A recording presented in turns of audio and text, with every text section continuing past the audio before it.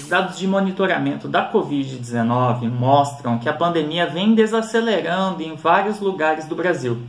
Esse gráfico aqui do lado, por exemplo, mostra a evolução da pandemia aqui na região metropolitana de Campinas.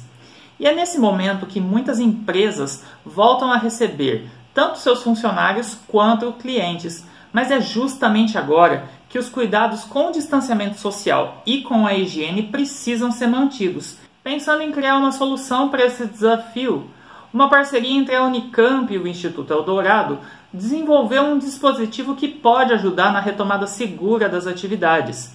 É um aparelho que mede a distância segura entre as pessoas que estão dentro de um mesmo ambiente e também consegue mapear por onde essas pessoas passaram e com quem elas tiveram contato. Para você entender como esse aparelho funciona, professor Gustavo Friedenreich, da Faculdade de Engenharia Elétrica e Computação da Unicamp, a FEEC, e o orientando dele, Lenin, gravaram para a gente um vídeo com uma demonstração.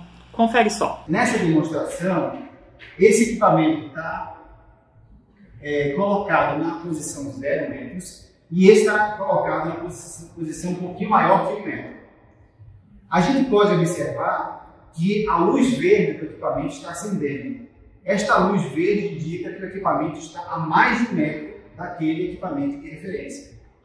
No momento em que a gente aproxima a uma distância menor que um metro, a luz vermelha aparece.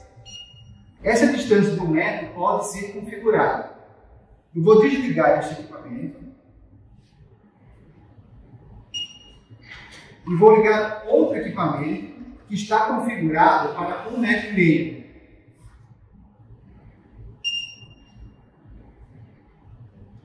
Então, eu vou colocar ele a uma distância maior que um metro e meio em relação àquele ponto. Vejam que a luz está verde, o que indica que a distância desse equipamento para aquele é maior que um metro e meio. No momento em que eu posicionar esse equipamento a uma distância menor que um metro e meio, a luz vermelha começa a aparecer e o bip também é emitido. Agora a gente vai simular a aproximação de duas pessoas. Eu e o aluno Lênin estamos a uma distância maior que o metro. O leite agora vai se aproximar.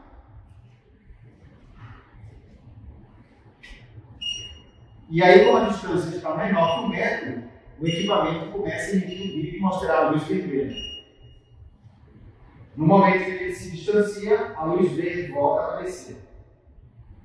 Legal, né? Toda a tecnologia desse dispositivo foi desenvolvida por eles e pelo Instituto Eldorado. E aí você pode se perguntar, não teria sido mais prático usar um dispositivo com GPS ou então os recursos de Bluetooth do celular? Acontece que o GPS pode ter alguns problemas para funcionar em ambientes fechados. E o uso do Bluetooth no celular tem impactos na privacidade de dados dos usuários. A ideia é que esse tipo de aparelho sirva para que as empresas consigam fazer um monitoramento mais eficiente do distanciamento social dos seus funcionários eu conversei então com o professor Gustavo e com o Eduardo Lima, que é gerente de pesquisa e desenvolvimento do Instituto Eldorado.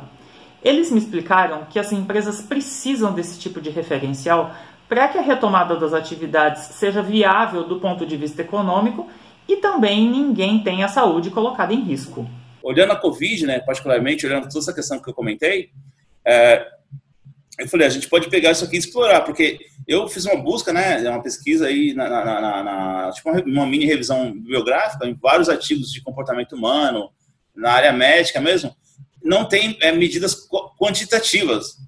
Se criou essas regras aí, né, baseado em algum critério estatístico, que para mim, a princípio, é meio genérico, que são eficientes, mas, é, é, de certa forma, elas são, são bruta força, que chamam, né?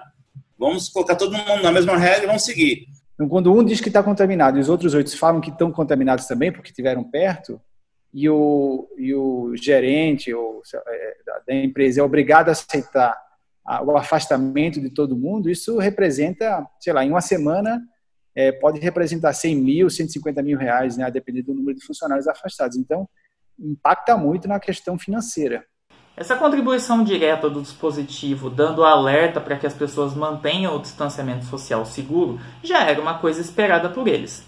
Mas teve outro resultado também bastante positivo, que foi uma mudança na cultura empresarial dos funcionários que passaram a incorporar mais a importância de manter o distanciamento social. Esses resultados foram percebidos durante o desenvolvimento do aparelho. Funcionou da seguinte forma: eles fizeram alguns testes com os funcionários de uma empresa e compararam os dados obtidos num primeiro momento, quando os funcionários não recebiam o BIP com o feedback para o distanciamento social seguro, e depois que eles já recebiam esse BIP. Entre essas duas etapas que foram comparadas, o índice de adesão ao distanciamento social subiu de 13% no primeiro momento, quando os funcionários não recebiam o BIP do aparelhinho, para 33% quando eles já passaram a receber o feedback. E olha que os dados obtidos pelo uso do dispositivo podem servir ainda para várias outras pesquisas. Descobrir qual que é o, tempo que as pessoas podem ficar em contato entre elas é, e que a, a, a, a, a gente não tem a propagação da doença, né? O equipamento, ele não só dá é, que você está a menos de 1,20m, né? Essa distância é configurável, né? Sim. Mas ele fala com quem você esteve, é, toda essa informação, na hora que você descarrega, tá? Fica lá nesse banco de dados aí. Gostou dessa pesquisa?